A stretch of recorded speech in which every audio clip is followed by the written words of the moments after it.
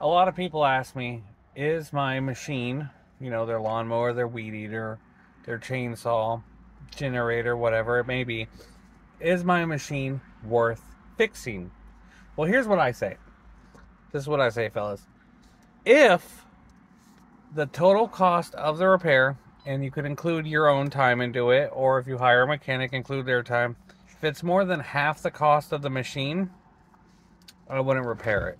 So let's say you have a lawnmower and it's a $250 lawnmower and it's going to cost you $175 to repair.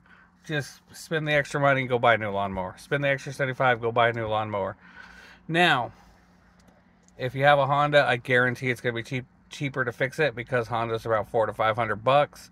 And if you have a big piece of machinery like a forklift or a big old ditch witch trench digger, fix it. It's going to be cheaper. But when it comes to some of these off-brand weed eaters and chainsaws, just get new ones.